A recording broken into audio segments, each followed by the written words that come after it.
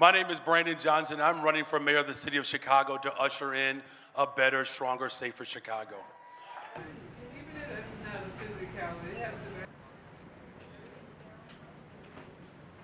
be. This is no time for on-the-job training. This is no time for someone who has no specifics, uh, who really can't answer uh, questions in a substantive way. Brandon Johnson. Studies show that most of the money that ends up in violence prevention does not. It's really about resume. Yeah, well, my lived experiences have shaped my political views. I grew up in a working class family. Um, I'm one of 10 siblings. My parents were also foster parents, so I learned early in life the importance of the value of negotiating and working collaboratively.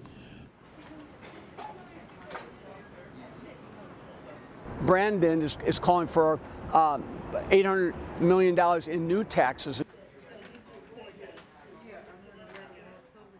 We do what works, and that's investing in young people. There's a direct correlation correlation between hiring young people and, and, and violence reduction. And so these are the preventative, preventative measures that I am taking um, as mayor of the Chicago. The reason why we have not been able to get control over um, the violence in the city of Chicago is because we're using the same tired tactics. I'm getting broad support from the business community because they've been decimated because of high crime. They've been decimated because of escalating taxes.